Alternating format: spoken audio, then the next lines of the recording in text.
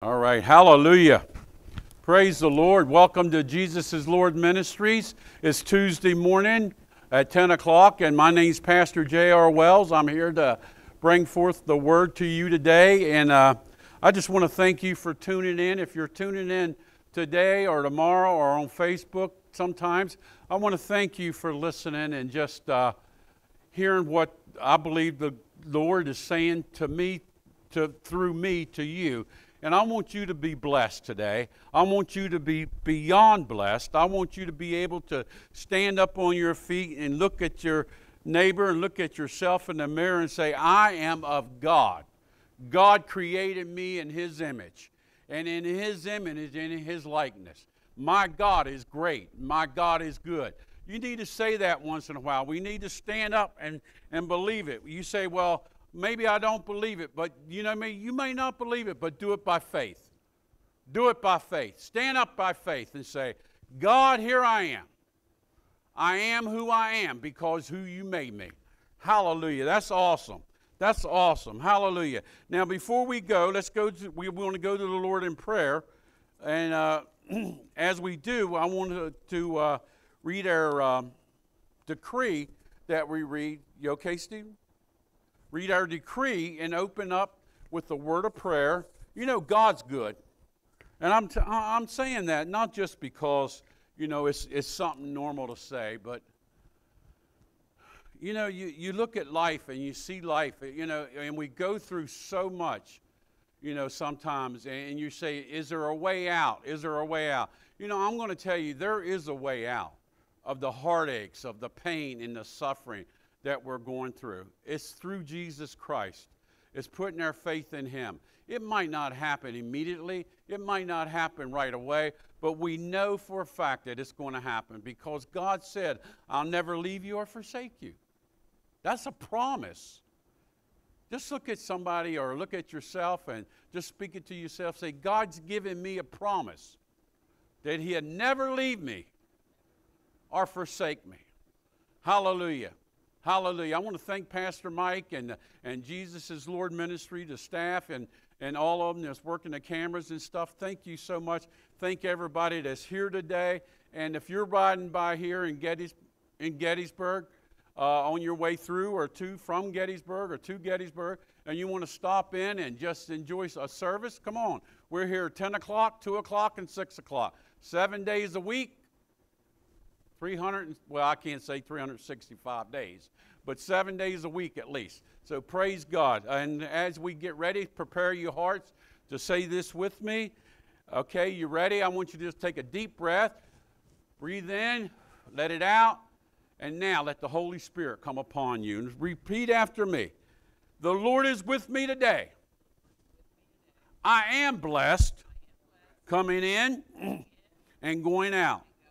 I am the head and not the tail. I am above only and not beneath. I can do all things through Christ Jesus who strengthens me. Greater is He that's in me than He that's in the world. If God be for me, who can be against me. No weapon formed against me shall prosper. Every tongue that rises up against me, I shall condemn with the Word of God. The blood of Jesus covers me, and by His stripes I am healed. I find favor and good understanding with God and with man. My God shall supply all of my needs according to his riches and glory in Christ Jesus. Amen and amen and amen. Uh, I just want to let you know that we've been doing what we call the red letter and it's uh, how Jesus was speaking to each and every one of us and speaking to the disciples as uh, he was preaching. And that's what we've been going over. Now, I've been, you know, Some of the scriptures I'm intertwining, mixing up, bringing them together, and, and everything, just so we can get a better grips of it. So uh, if you say, well, that really wasn't all that, and that's, well, you know, I'm trying to bring it together so that we can have an understanding. Because, see, the Word of God says that if we ask God for understanding, He'll give it to us. That He will give us the understanding that we need. And that's, and that's what I pray today, that each and every, me and you and the, everyone that's here and, and the sound of my voice will get an understanding of God's Word. And He will create in us the joy of His salvation. He will create in us that clean heart that He clean that, that He has given to us.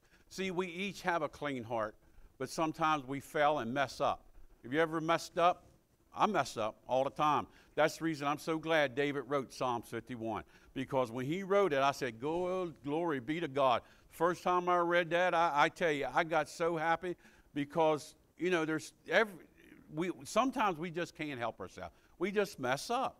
And then there you go, we got that word that says, God, forgive me, create in me a clean heart, O God, and renew that right spirit within me. Take not your Holy Spirit from me, and restore, I love this word, and restore, listen, and restore, and restore the joy, hallelujah, the joy of your salvation in me. Think about that. There's joy in God's salvation. You say, well, I don't, uh, yeah, there's joy in God's salvation. Whether you like it or not, there's joy. And that's what it's all about the joy of God. Now, listen, I, am a, we're going to go a little place here. And as we do, uh, I just got to pick up where we left off last week. And uh, do you remember last week I read in Second Chronicles 16 9? It says, For the Lord, for the eyes of the Lord runs to and fro throughout the whole earth to show him himself strong and mighty on the behalf of those who hope in him. Now, I paraphrase that a little bit, but, but you understand, you get the grips. God's eyes, he's running to and he's looking for us. I said that last week. God is taking his time just to, I mean, come on now, just to look for us Who's us? Me, you. God doesn't want anyone to go to hell. He wants each and every one of us to be have that joy of that salvation, knowing, and that joy of the salvation is, is simply, if, you, if you're wondering what it is, is simply knowing that you're going to heaven and not hell. Simply knowing the joy of salvation, that your name is written in the book of life. Glory be to, think about that. My name is written in the Lamb's Book of Life. God knows my name. He knows your name. God says He has a plan for us, plan to prosper us, plan to, to, to give us greatness and goodness and, and, and everything that there is. But you know what? He says that plan is for good, not evil. He says, and I'm planning to protect you from evil. See, we, some, we have to get in our hearts, in our minds, that God is with us. And if God is with me, who can be against me? Think about that, my, my friend. If God is for me, if God is searching through the heavens, on the earth, seeking whom he will find to share a blessing on us, to share, that's God. You, you, that's joyful. That's the joy of his salvation. Okay, uh, let's just go here. I want to go here. It says, uh, No man, now back to John 6 41. It says, No man could come to me except the Father which sent me drew him. And I will, uh, that drew him. Yeah, see, no one can come to the Father except through Jesus. Remember, we read about uh, earlier that, you know, last week about how we haven't chosen God, God has chosen us. And then back in the New Testament, we've seen back in Genesis 1 26 and uh, on down a little bit, 28, 29, 27, where, where God created man in his image. See, God's chosen us. I want you to just, just think about that. You are so special in God's sight that he's chosen you. Think about that. You didn't choose God. You say, well, yes, I did. Well, yes, you did, but you didn't. God had already had it planned for you. It, it go on now. It says, uh, no man can come to the Father except, no man, excuse me, no man can come to me, this is Jesus talking, to Jesus, except the Father which sent me, him, Jesus, to draw him. And I will raise him up at the last day. Friends, enemies, children of God, we are in the last days. I hate to tell you this. Time is running out on this earth. I know you're going to say, well, I've been hearing that for a long time. Well, I've been hearing it also for over 43 years. Well, yeah, almost 43 years, probably 42 years now. But I've heard it before I got saved. But now I know for a fact that time is drawing. I mean, all you got to do is read the Bible. You know, people saying that I got to read this book to find out where the world is today. I got to read that book. I got to do. No, you don't. Read the Bible. And I, I encourage you to read it. But I also encourage you, as you're reading the Gospels, go to the back of the book and read Revelation at the same time. And you're going to find, you're going to find the goodness of God, how God is, is so concerned about you, how he loves you and wants you, how he cares about you, how he, would, how he gave up Jesus, who went to the cross and died for us, so that we, mm, mm, mm, look at your neighbor and say, that, that we is me Hallelujah. So that we can have a place in heaven. Now, I want to uh, jump a little bit here to back or go forward a little bit on this message, and I want to go to Matthew 6:33. You all probably know this scripture by heart, but I, I but I want to go there, and it says these words. It says, "Seek first. Now, what is first? What is first? First is first. Seek first the kingdom of God and His righteousness and his righteousness or his right standing. See, God wants us to be in right standing with him, and all your needs he will provide. Or it says, and all your needs will be provided. Think about that now. All your needs will be provided as we seek first the kingdom of God. And when we seek first the kingdom of God, what is that talking about? What is that talking about? It's talking about going to God and, and serving Him. It's talking about being a server of God, being a servant of God. Listen, listen, Second Chronicles, uh, I mean, I'm sorry, Second Corinthians 2, 14 and 17. It says, But thanks be to God. Who? Thanks be to God. Who? Thanks be to God. Not to man, not to me, not to your brother, your sister, your mama, your daddy, your aunt, your uncle. Nobody. It's thanks be to God who always but seek first the kingdom of God, and all your needs will be provided. Who always leads us in triumphant processions in Christ, procession in Christ, and through us spreads everywhere the fragrance of the knowledge of Him. You got a smell on you, my friend you have a smell on you. You have a fragrance of God on you when you seek God, when you go after God, when you, when you want to serve God, when, when you seeking God to serve Him. It goes on to say, well, I want to back up for a minute. And through us, through us, that's me, I'm an us, through us spreads everywhere the fragrance of the knowledge of God. Think about that. The sense the smell that you have on you is something that is of God. You say, you know, you sometimes we go around people and they, and they just don't have that odor that, that, that just don't smell all that good. But, you know, we, we deal with it. We, we, we live with it. We, we say, well, God, God's going to take care of this. But see, we as a Christian has an odor. That's the reason when we, when we get around sinners, I said, when we get around sinners, they want to back off because, see, what they do, they don't any sense that you belong to God. They don't only know that you have the living Christ in you. They don't even only know that God is who God says He is in you, and you you belong to Him, and you're seeking first God. See, God, they don't only know that, but they smell something on you, and it's the fragrance of God. Hallelujah! And that fragrance of God. I don't know about you, but sometimes we need we we need to take and, and share our fragrance to this world and to those around us to get the stink away. And when I say stink, I mean the sins of the world that's around you. See, sometimes we need to look up and say, God, I need more of your fragrance. God, I need more. I want to smell like you everywhere I go. I want to spread it. I, like, like uh, I'm going to say this, this may not be too nice, but most of you understand if you're a farmer, you understand, or if you're a city person and you're driving by a farm, you definitely understand because you're not used to it. But when the farmer is spreading the manure or their pig manure and stuff, it stinks.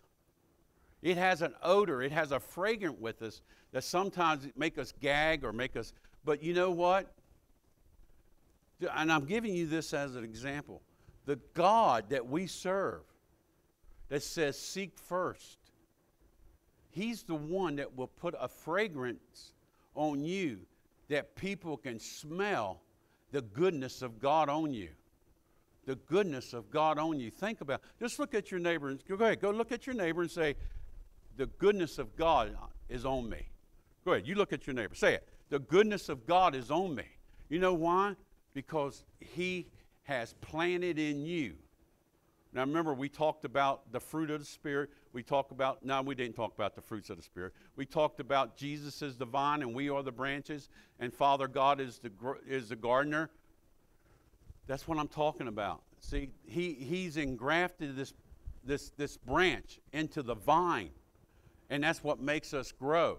And, and that vine, once we get engrafted into that vine, now listen, I, I might think it might be buzzing off here, but I'm not. I'm going to tie it together in a minute. Once we get engrafted into that vine, what happens is our branch, that's us, we begin to blossom. And it might take a day or two, a month, a year, but, but when you get a hold of Jesus and you accept Him as your Lord and Savior, and you say, God, I have nothing but you, when you say, God, I want to seek you first, and then what happens is you begin to grow that branch that's engrafted into the vine of Jesus Christ, that is engrafted into Jesus Christ. God the Father takes and He begins to implant in you His Word. He begins to implant in you His knowledge. He begins to implant in you His wisdom. You know, the book of James says, if any man lacks wisdom, let him ask of God. And He'll give it to him liberty and not hold back. Think about that. See, we run around. I really need wisdom, Lord. I don't know what your plan is, Lord. I really, I, I don't know, Lord. What, what am I going to do? God, you said if I ask you for wisdom, you'll give it to me. You know how many times a day I have to do that? I mean, I'm me personally. I'm, and, and I'm not saying that to be proud for anything, but I have to ask for God's wisdom on everything. When I'm driving down the road, God, give me your wisdom that I don't have a wreck. God, give me your wisdom to, to, so I don't get a speeding ticket. God, God, give me your wisdom. Give me your wisdom. And, and, and when we ask God for wisdom, I'm telling you, there's something that busts open in us. We see things that, that, that you can't even, I mean, I, let me say me. I, I don't know about you. But me, I see things that I'm finding that, God, I never even thought this was possible. How? You know, and, and, and things happen. So ask God for his wisdom. Seek first the kingdom of God, and all these things will be added unto you. Seek first the kingdom of God, and he will provide these things to you. What things? The thing. See, it's not only talking about. See, once we all we always want to think about this, and, and you're going to have to forgive me here because I'm going to have to jump someplace. When we talk about God's provision and giving and God's giving the tithes to God and, and opening up our hearts to God and giving, the first thing comes to our heart is we're talking about money. I'm sorry, my friends. God is more than just money. God is a provision for every need that you have. How do you, you might need something spiritually, and God's going to see it.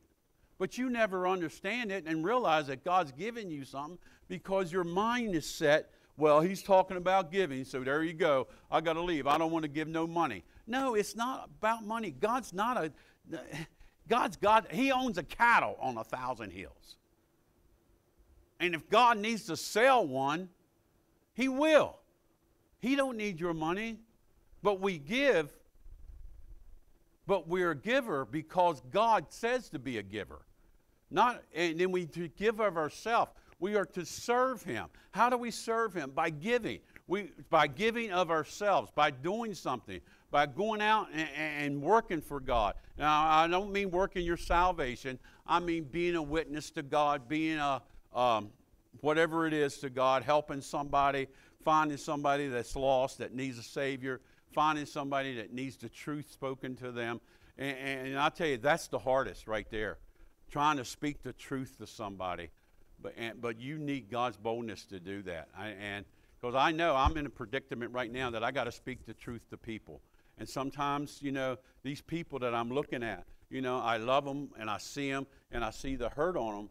But if I don't speak the truth to them, my friend, if you don't speak the truth to them, they're on their way to hell. God doesn't desire anyone to go to hell, but only we can stop from going to hell. There's people saying, you know, why does God send people to hell? He doesn't. You allow yourself to go to hell if you don't accept Jesus Christ. God has a standard, and that standard says to love one another. Jesus says to the when, when the Pharisees came up to him and the Sadducees and and all of them that came up to him, the scribes, they came up to him and they said, What is the greatest commandment? And Jesus looked at them. You know, Jesus is a pretty smart fellow. So if you think about on the lines of what Jesus is saying and you speak like Jesus, he's pretty smart.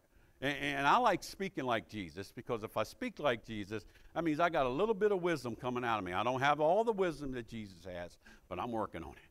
But when they came up to him, they said, all right, you're such a great rabbi or a great whatever. What is the first commandment? And Jesus simply stopped what he was doing and looked at them. And I, I could imagine, you know, me, I know what I would have said. I said, Look, fools, you know what it is. But I'm going to tell you anyway it's to love the Lord your God. Listen what Jesus says to love the Lord your God with, listen, to love the Lord your God with, listen, with all of your heart.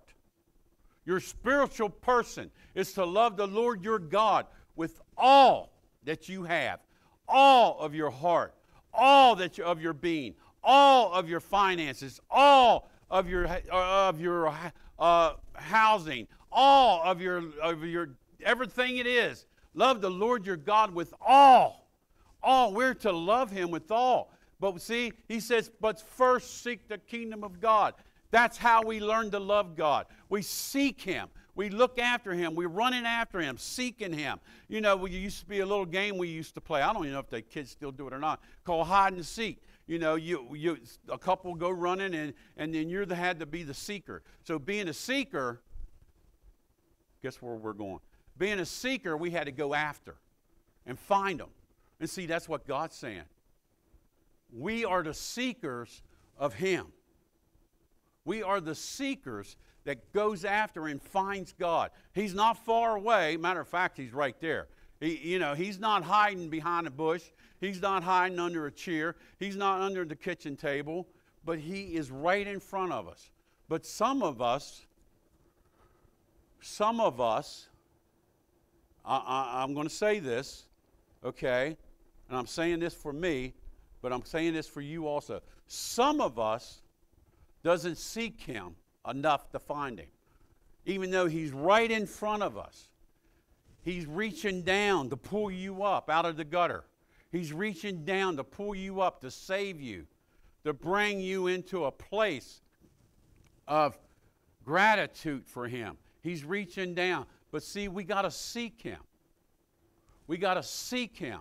See, just like when you're playing hide and seek, or maybe when you were a children, you went, or when you were a child, sorry. When you were a child, you went out and you played hide and seek. And there's some people that hid so good you couldn't find them. I mean, they hid good. But see, God's not like that. He hides in the open. Glory be to God. Did I just say that? Wow, thank you, Jesus. When you're seeking God, He hides in the open so that you can find Him and find Him fast. See, we, we seek God because we're ordered to seek God. We're commanded to seek God. Why? Not because he's threatened us to take this or take that from us. If I don't seek him, I ain't going to get this. If I don't seek him, I, this is going to happen. None of that doesn't happen. But when we seek first God, we find him. And that's what I'm talking about this morning. We need to find him in the open so that we can share him in the open. See, God's not hiding. And then when you go into that room and you and and, and, and you you're around people and, and you and you know they smell the fragrance of God on you and they start backing up. What that is, what that's saying is God saying to you, they need to seek me. So get a little closer. Let them smell, let them smell the, the fragrance of God. Let them smell the lily of the valley, the bright morning star. Let them smell him. Let them smell how good he is. Mm, mm, mm. Hallelujah. Hallelujah. The birds of the air are, coming to find him. We need to seek him. We need to seek him so that we can walk in his fragrance, so that we can serve him in his fragrance. Listen, I, am going to go here. I, I, wasn't, but I don't know. I, I, think God said. Before I go, I just want to read Ephesians uh, 3, verse 20. It says, Now listen, for all of you naysayers out there, that's ones that has doubt, okay? For all of you naysayers, for all of you that says, I'm not sure, for all of you that says, I ain't got that for yet, for all of you that's there, I want to read something to you. I want to read something to you. For all of you that says, God's not really going to be able to help me, God's not really that, you know, I, am just going too, through too much. Even though God created me and He's chosen me, I don't have the faith in me yet to believe that God's going to help me. Well, He's going to help you, and I'm going to share a scripture with you right now that, that helped me a long, long time ago. I mean, it was a scripture that I lived by, that I, that I, every time I heard it, I got excited. I jumped up and down, not literally, but in my spirit. And then sometimes if I was by myself, I jumped up and down. But, you know, this scripture that I'm about ready to read to you is a scripture that will bring you out of your fear. It will bring you out of wherever you're at. Yeah, you know God. You, you, know God. You know God is great. You know God loves you and you love God, but there's something missing in your life and you don't know what it is and you're trying to figure it out and you're try, trying to figure out how to get there. Listen, listen to what Ephesians 3 says. You ready? Ephesians 3:20. It says, God, just look at your neighbor and say, God, God is able. That right there, my friends, enough to, to throw up your hands and praise Him. Lord God, thank you that you're able. Thank you, Lord God, that you're able. You're able, Lord God, to get me through it. You're able to get me through the hard times. You're able to get me through the, the short times. You're able to get me through the good times. You're able to get me through that moment that I want to be proud of myself. Because, but I got to back off and say, wait a minute, it's because of God, not me. You're able. God is able. God is able. I'm going to say it. I'm going to say it again. God is able. Say that with me. God is able. Hallelujah. Now listen, let's go on and read it, and you'll see why I get so excited when I read it. God is able to do exceedingly, more than, exceedingly. Whatever you think God can't do, He can do it more than. Abundantly, more than. God can do it exceedingly, abundantly. This is the God I'm talking about. This is my Lord and Savior, Jesus Christ, that died on the cross for us, that's sitting at the right hand of God the Father, that says to God the Father, Father, He's got my blood on Him. He belongs. Do, do, you're able to do exceedingly. You're able to do exceedingly for, my, for him. He's mine. He's my brother. He's mine. He loves you, God. He's mine. That's what Jesus is saying to God when you say, God, are you able? God is able. God is able. And I'm not even preaching a message about able, but God is able. Listen to me. The provision that you need, seek first the kingdom of God.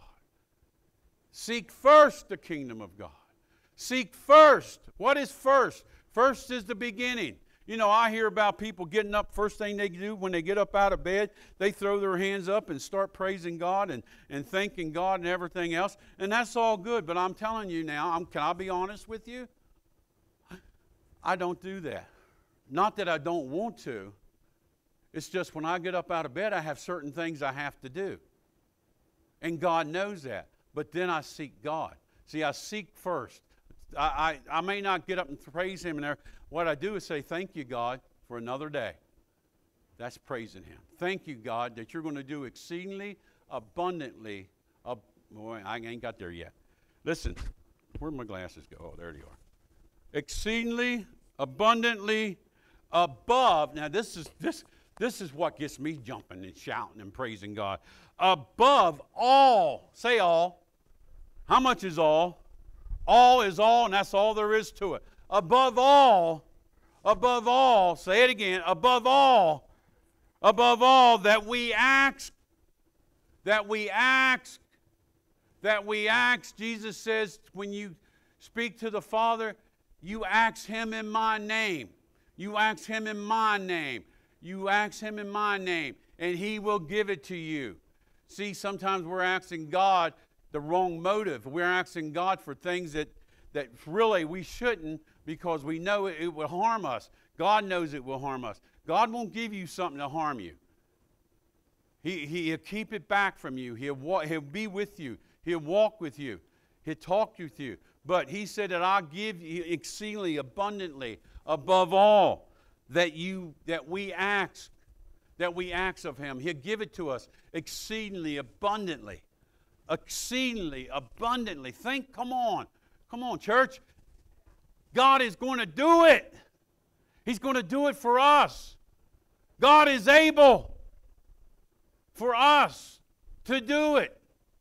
God is able. Just look at somebody, even if you're in a home by yourself and you're sitting there, just look at in the mirror or, just say it out loud. My God is able. Hallelujah. My God is able to do what I ask. Now, but listen, it goes beyond that. It goes beyond that. And think. So, in other words, when you're not speaking, asking God for things, but you're thinking about things you need from God, God is able. See, God knows your thoughts. Some of you might say, well, he don't know my thoughts. Yes, he does. Yes, he does. He knows your thoughts. That's the reason we have to have a clear mind. That's the reason our mind has to be clean. That's the reason we have to, when we get these thoughts that the enemy put, put um, when the enemy puts in our in our thinking, and he thinks puts things in there that shouldn't be in there. That's the reason we have to go to God and say, God, forgive me. My thoughts were wrong. That, but but you know what? When we think good things, God, I'm thanking you for this. I'm thanking you for my healing. I'm thanking you for my wife's healing. Lord God, I'm thanking you for the prosperity that you have for me. Lord, I'm thanking you that I can help somebody that is in need. Lord, I thank you for that. Now, when we think it in our minds, and all of a sudden, we may not said it out loud, but when we think it in our minds, you know, especially the one God help, let me help somebody that's in need, all of a sudden you're thinking and you're walking around and, and God's going to say to you, hey, do you remember you were thinking about helping somebody? Now, this, this is just me and God. I don't know how you talk with God, but this is me. And I say, yeah. He says, that person over there needs some help. I say, okay. If I got it, they're getting it. If I got it, they're getting it. Why? Not because I'm, I'm anything, it's because I believe God wants us to help those that are in need. And there's a scriptures that, that in Proverbs it says that when we give to the poor, when we give to the poor, now listen to this, and I can show, and I know how this works because I know how this works. This is a personal thing to me. It says, when we give to the Lord, you're, I mean, when we give to the poor, you're lending. Listen, you're lending to God. Okay, now can I share something with you real quick? I don't know if I did this before or not, but I want to share something. My daughter, she had a good job, working good, worked there for 10 years. Everything was good. And then this one person came in on the other side, and, she, and that person started call, causing different kinds of uh, problems. My daughter hung in there and kept working and working. They talked bad about my daughter and everything else, knowing it was a lie. But she just kept going. And then one day they called her and they said, We're sorry, we're going to have to let you go. And uh, she says, Why? Well, they couldn't give her a good reason. So they let her go. And then they said, We're not going to pay you your severance pay, which she was entitled to. We're not going to pay you your vacation time, which she worked for. We're not going to do all that. Okay, we're not going to do that. So my daughter, being the intelligent one of the family, besides my wife, she called up the higher person in, at the place and she started talking to them. And that person listened to her. See, that person listened to her. And when she listened to her, Christy said to me, my daughter, she says, I don't, you know, I don't know what's going to happen. So my wife and I, we read that scripture. We, we live by that scripture. If you give to the poor, you're lending to the, to the Lord. And I said to God one day in church, while they were preaching, yeah, I li- paid attention to God instead of the preacher. While everybody was preaching, I looked up and I, I seen that scripture again. And I said, God, you said that if we give to the poor. Now, Lord, my wife and I, we've given to the poor all of our lives, but Lord, we also have this ministry that we give to the poor. So, Lord, I'm not asking you for something for me. I know you've given me all I have, and I appreciate it. But, Lord, I need you to do, if you would please, show my daughter favor in this situation with this work problem. I said, Would you do that, Lord? Just because we're givers to the poor and we lend it to you. I'm asking you for, and I, I really said this. You might say, well, that's wrong. I'm asking you for a repayment, Lord. I'm asking you if you could pay me back on this, but not for me, but for my daughter. Within, I think it was uh, two weeks, a week, something like that, they called my daughter up, and here's what they said. These are the words. I'll show you how good God is. These are the words they said to my daughter. They said, we are going to pay you your back pay. We're going to pay you your severance pay. We're going to pay you your vacation pay. If, now listen to these words. This is how good my God is. If you promise not to sue us, they looked into the situation. God got into, the me- into this mess that, that they had on my daughter, and He intervened and He showed them if you don't do right, she can get more than you're offering. Do you hear me? God intervened for my daughter because I asked Him to, because we gave and give to the poor, we give to those that are in need, and we lend into the Lord. Now, I don't all the time ask God to repay me for something. But that was something I didn't know what else to do. My daughter was hurting, her family, and everything else. She needed an answer. And the only thing I knew what to do was go to God.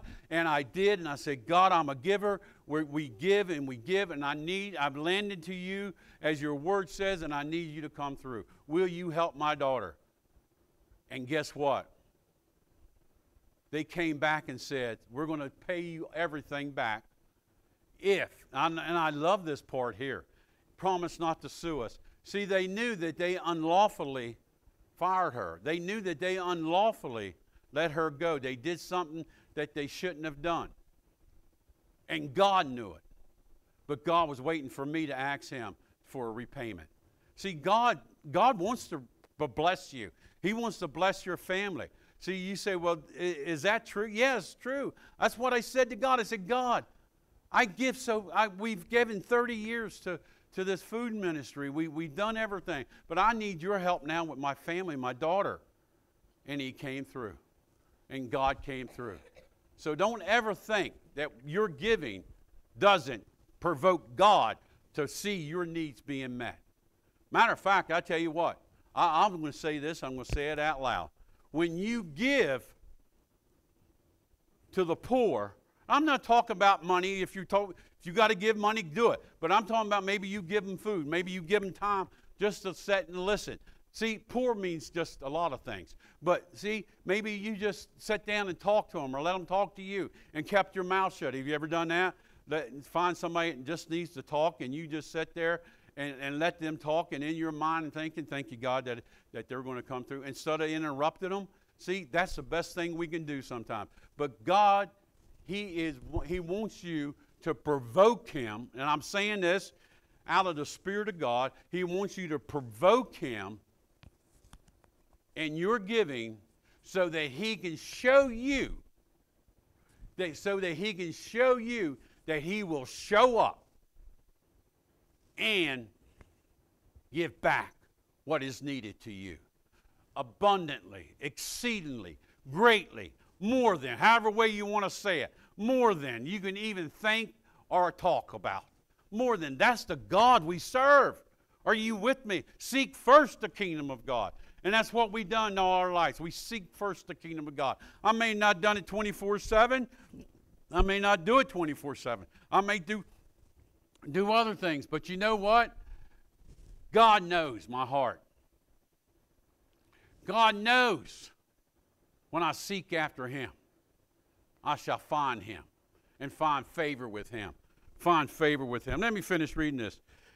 I, am going to read it all over again, right from the beginning, okay? I'm not going to stop until I get to the end. It says, And God is able to do exceedingly, abundantly, the King James says, more than, and above all that we can ask or think. Now, here it comes.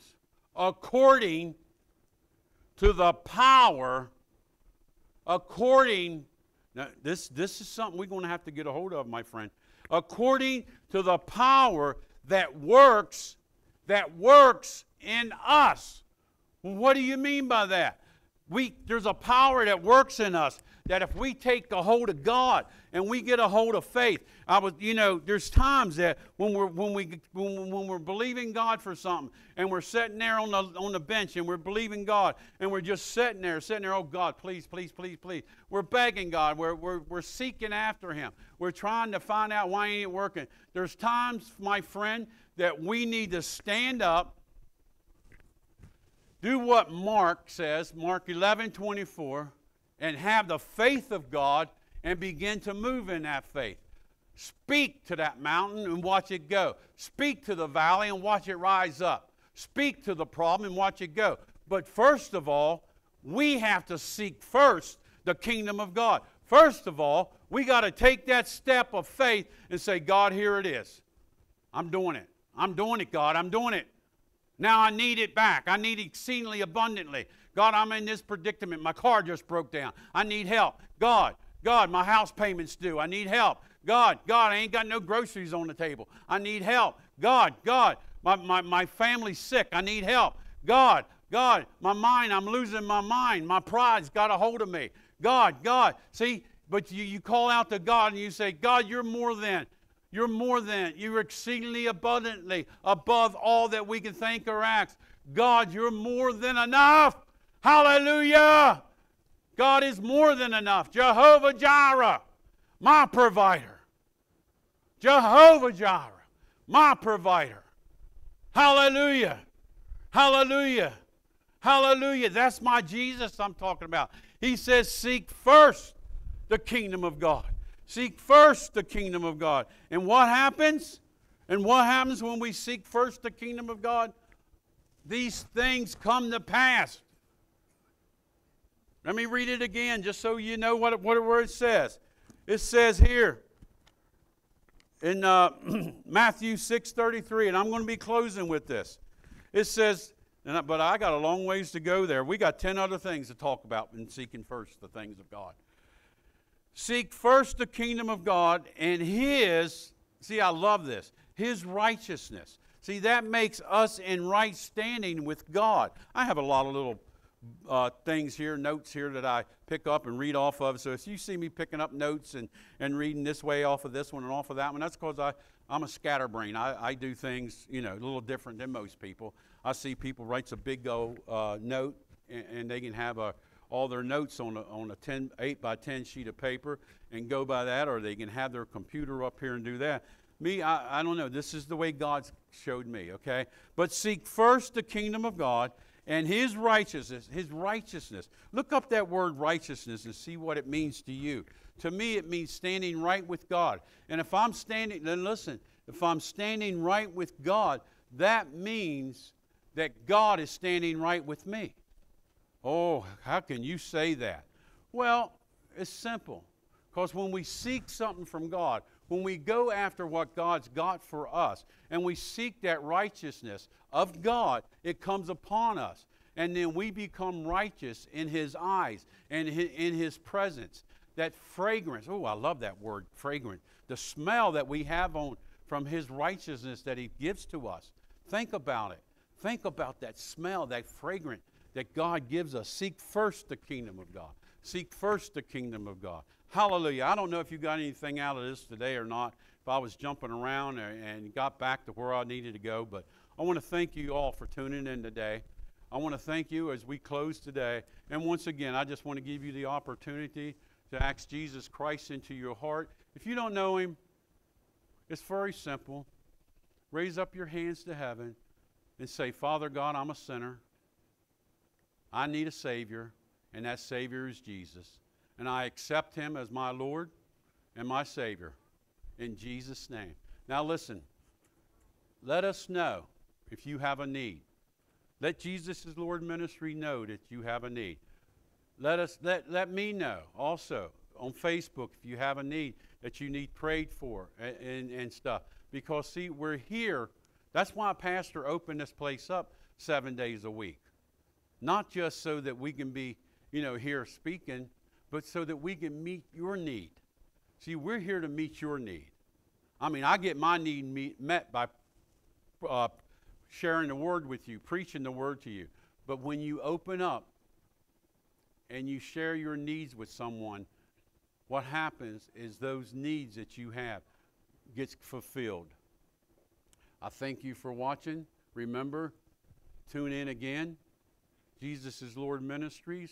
And oh, Bob, one I got to say one thing before I go. Pastor Mike on Sunday morning, he preached a message about the heart that I think every person in this country, in this world, needs to hear. He preached this message, and I, I tell you, I've never heard such a good word about the heart.